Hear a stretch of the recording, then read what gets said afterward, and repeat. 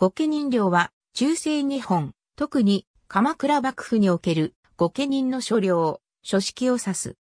御家人の多くは源頼朝の時代にこれに従って本領安堵を受け、その後は勲功の評価によって新たに新音所領書式を与えられることで御家人領が形成された。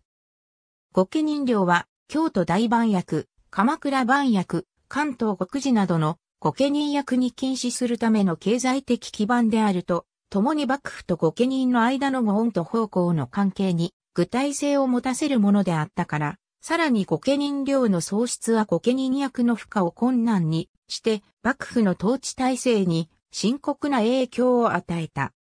そのため、鎌倉幕府は御家人領の保護に努めるとともに、非御家人への流出を阻止しようとした。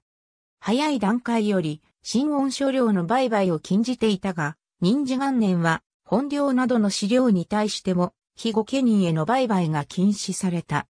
永任5年の永任の特性例などもこうした御家人領保護政策の一環として考えられる。